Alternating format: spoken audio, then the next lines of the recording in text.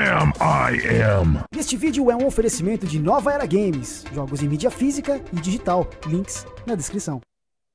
Sam I Fala galera, estamos aqui com vocês e bem-vindos a mais um vídeo. Dessa vez vamos falar sobre o fim dos mods no GTA V, o PC e o patch 350.1. Vocês viram que a Rockstar não demorou muito para lançar é, esse patch para travar todos os mods, nenhum deles mais funciona. Isso porque a Rockstar não apoia ainda oficialmente os mods no PC. Eu acho também, eu acho na minha opinião, que é por causa do GTA V Online. A galera tava usando os mods não só no offline, mas sim nas sessões online e não em sessão privada e em sessões abertas ao público. Eu acho isso é igual usar cheater em qualquer outro jogo. Então a galera não tem medo de ser banida, essas coisas.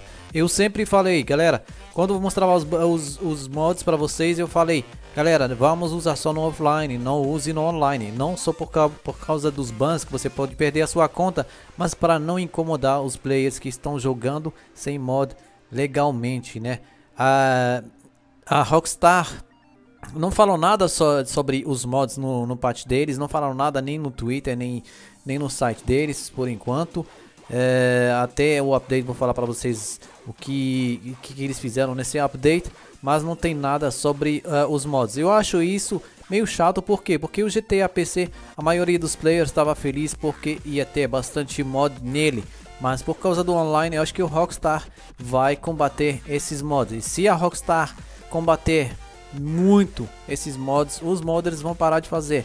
Por quê? Porque você passa horas, horas e dias fazendo um mod que não demora dois, três dias e, e vai ser de, desativado pela Rockstar. Não sei se eles vão continuar fazendo mods para o GTA V ou vão voltar para o GTA 4 e, e os, os GTAs antigos para continuar fazendo os mods tranquilamente. Isso é uma coisa meio triste, eu falei para vocês, do meu lado, porque eu gostei bastante de me, de me divertir bastante com esses mods no offline, mas sempre tem aqueles que abusam e vão lá usando online.